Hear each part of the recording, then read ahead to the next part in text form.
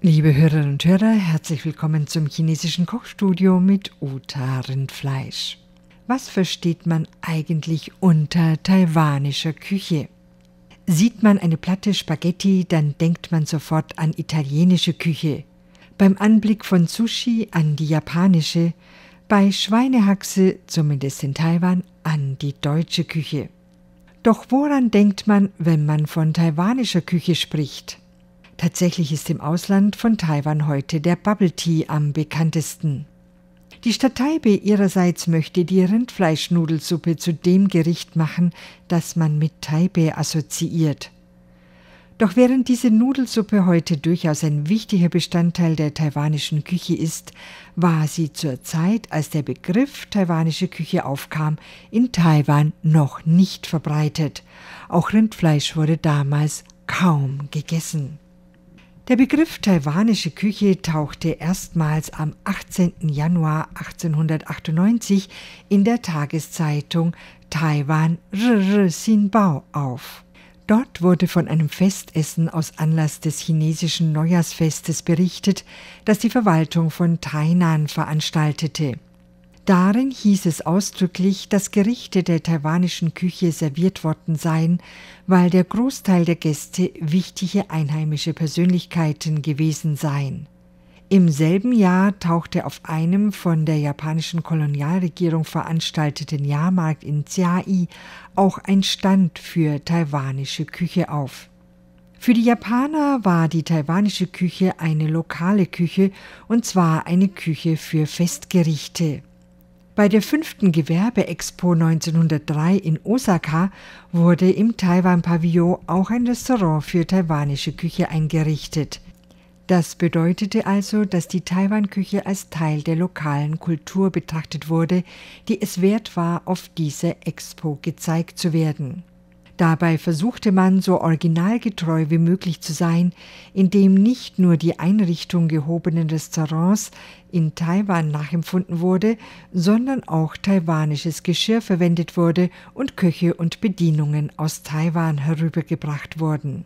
Diese Expo dauerte drei Monate lang. In diesem Zeitraum aßen mehr als 38.000 Personen im Taiwan-Restaurant. Eine Zahl, die sich durchaus sehen lassen kann. Der Ausdruck, der für taiwanische Küche verwendet wurde, Taiwan Liaoli, stammt aus dem Japanischen.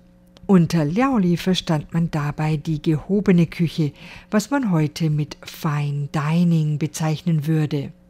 Das erste Restaurant in Taiwan, das für diese gehobene Küche stand, war das Jiangshan Lou in Dadaocheng im heutigen Taipei.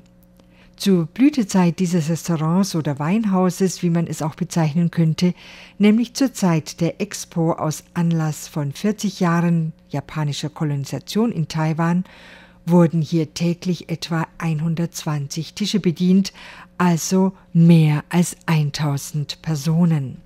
1922 fand die Hochzeitsfeier des ersten Taiwaners, der den Grad eines Doktors der Medizin erworben hatte, nämlich Du Zung-min, im Jiangshanlo mit über 300 Gästen statt.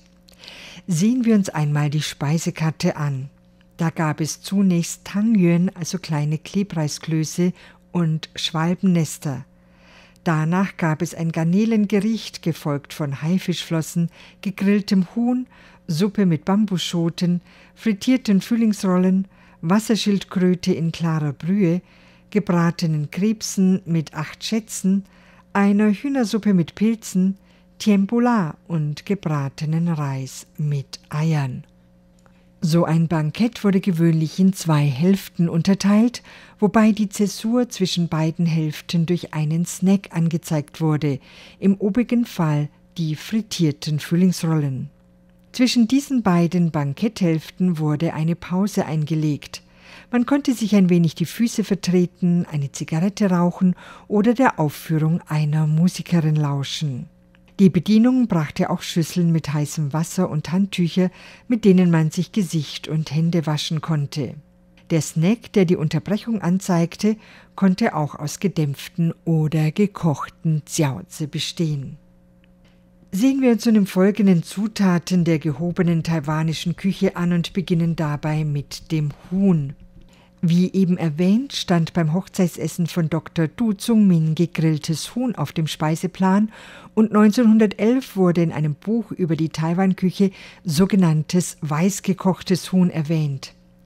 Diese beiden Gerichte findet man heutzutage bei Festessen gewöhnlich nicht mehr, dafür sind sie jedoch ein fester Bestandteil der sogenannten taiwanischen Hausmannskost und auch deshalb unentbehrlich, weil hier die Hühner ganz gekocht werden, wie man dies sich für die Ahnenopfer, zum Beispiel beim Neujahrsfest, wünscht.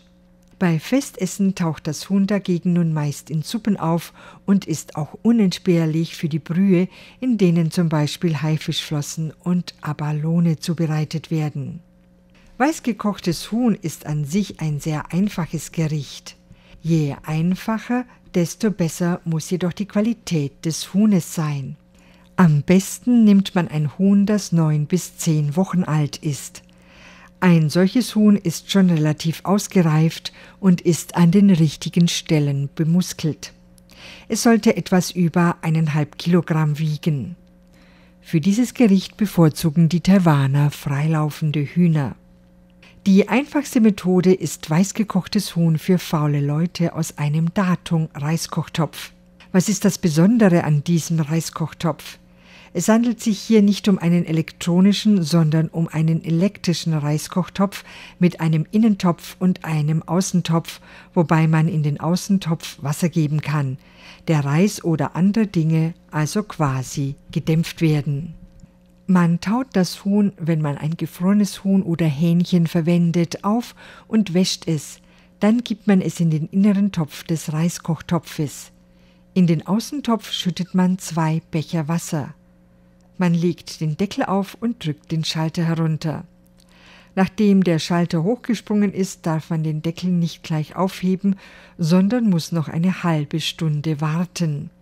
Dann kann man das Huhn herausnehmen und in Stücke hacken. Oder aber, wenn man sich das nicht zutraut oder wenn man wirklich faul ist, dann kann man einfach Fleisch mit der Hand abreißen, in ein wenig Meersalz tippen und essen. Dieses Gericht ist nicht nur bei den Taiwanern beliebt, die den Minan-Dialekt sprechen, sondern auch bei den Hakka, einer ethnischen Minderheit. Die Hakka servieren zum weißgekochten Huhn am liebsten süßsäuerliche Kumquat-Soße, die zu ihren Spezialitäten zählt. Andere schwören jedoch auf dicke Sojasauce. Natürlich kann man bei der Zubereitung dieses Huhnes auch ein wenig mehr Aufwand betreiben, was in Deutschland jedoch etwas schwieriger sein dürfte, weil man hierzu eine Menge Hühnerfüße, ich meine damit Hühnerklauen benötigt. Weißgekochtes Huhn à la Lin Qifeng. Lin Qifeng ist der Name eines Koches. Die Zutaten: ein ganzes Huhn, ein Kilogramm Hühnerklauen, 150 Gramm Hühnerfett, 10 Liter Wasser, 430 Gramm Salz und 20 Gramm Reiswein. Einen Topf mit 10 Liter Wasser erhitzen, da hinein das Hühnerfett und das Salz geben einen weiteren Topf mit Wasser erhitzen, in dem das Huhn überbrüht werden kann. Von den Hühnerklauen die Nägel entfernen und mit dem Rücken des Hackebeils zwei, dreimal auf die Hühnerklauen schlagen, um die Knöchelchen zu brechen. Für zwei Minuten in den Wassertopf zum Überbrühen geben, dann herausnehmen und mit kaltem Wasser abwaschen danach in den Suppentopf geben und 20 Minuten köcheln lassen, damit das in ihnen enthaltene Kollagen austritt. Dann herausnehmen. Nun das Huhn dreimal im Wassertopf überbrühen. Dazu wird es jeweils für sechs Sekunden ins Wasser gegeben und dann für vier Sekunden herausgenommen. Am besten geht das, wenn man das Huhn an einem Metzgerhaken aufhängt. Durch diese Prozedur wird nicht nur Blut herausgeschwemmt, sondern auch das Huhn gleichmäßig von innen und außen erwärmt. Warten, bis die Suppe im Suppentopf wieder sprudelnd kocht, dann das Huhn hineingeben und den Deckel auflegen. Das Feuer auf hohe Flamme stellen. Wenn die Suppe wieder kocht und unter dem Deckel Dampf heraustritt, dann nimmt man den Topf vom Feuer, lässt den Deckel aber noch mindestens eine halbe Stunde geschlossen. Sollte das Huhn etwa 1800 Gramm schwer gewesen sein, dann muss es 55 Minuten im heißen Wasser bei geschlossenem Deckel liegen bleiben. Das Huhn aus dem Topf herausholen, indem man zwei Stäbchen unter die Flügel klemmt. Solange es heiß ist, sofort mit Salz und Reiswein einreiben. Dann, falls man die Möglichkeit dazu hat, das Huhn mit dem Metzgerhacken aufhängen, damit der Saft in der Hühnerbrust bleibt. Abkühlen lassen. Wenn es schnell gehen soll, können Sie dazu einen Ventilator verwenden. Danach in Stücke hauen. Zum Eintunken Kumquatsoße verwenden oder dicke Sojasauce, in die acht Stunden lang geschälte und zerquetschte Knoblauchzehen eingelegt waren. 25 Gramm Knoblauchzehen auf 150 Gramm dunkle oder dicke Sojasauce. Dieses Gericht ist gewöhnlich in taiwanischen Familien beim Silvesteressen vor dem chinesischen Neujahrsfest anzutreffen, da man das ganze Huhn ja für die Ahnenopfer benötigt. Ich darf mich für heute von Ihnen verabschieden. Auf Wiederhören. Am Mikrofon war Uta Rindfleisch.